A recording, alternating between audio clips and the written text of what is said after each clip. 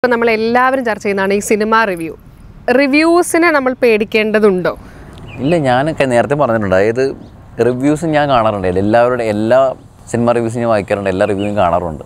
അപ്പം നമ്മളതിനെ അർഹിക്കുന്ന ഇത് കൊടുക്കണം. അതായത് അവർ പറയുന്നതിൽ കാര്യമുണ്ടെന്ന് ഞാൻ നോക്കാറുണ്ട് ഇടയ്ക്ക്. അവർ പറയുകയാണ് ഇങ്ങനെ സ്ലോ ആയിരുന്നു കണക്റ്റായില്ല ഇമോഷണലായിട്ട് അത്രയും കണക്റ്റായില്ല എന്നൊക്കെ പറഞ്ഞ സമയത്ത് നമ്മൾ അതിനെക്കുറിച്ച് നോക്കാറുണ്ട്. അതല്ലാതെ കീറി കൊടുക്കുന്നതിൽ ഒരു കാര്യമില്ലെന്ന് തോന്നിക്കഴിഞ്ഞാൽ മൈൻഡ് ചെയ്യാറില്ല. അത് ഒരിക്കലും ഒരു മോശം റിവ്യൂ കൊണ്ടൊരു സിനിമ പരാജയപ്പെടുകയോ നല്ല റിവ്യൂ കൊണ്ടൊരു മോശം സിനിമ ഓടുകയോ ചെയ്യില്ല. നൂറ് ശതമാനം ഉറപ്പാണ്. അതുകൊണ്ട് റിവ്യൂ ചെയ്യാന്നുള്ളത് എല്ലാവരുടെയും സ്വാതന്ത്ര്യമാണ്. അവർ ചെയ്യട്ടെ എന്നാണ്. അവർ അന്ന് തന്നെ ചെയ്യുക ഉച്ചയ്ക്ക് ചെയ്യുകയോ ഇന്റർവെല്ലിന് ചെയ്യുകയോ അതൊക്കെ അവരുടെ ഇഷ്ടമാണ്. നമ്മളതിനെക്കുറിച്ച് ബോധറേ ചെയ്യണം.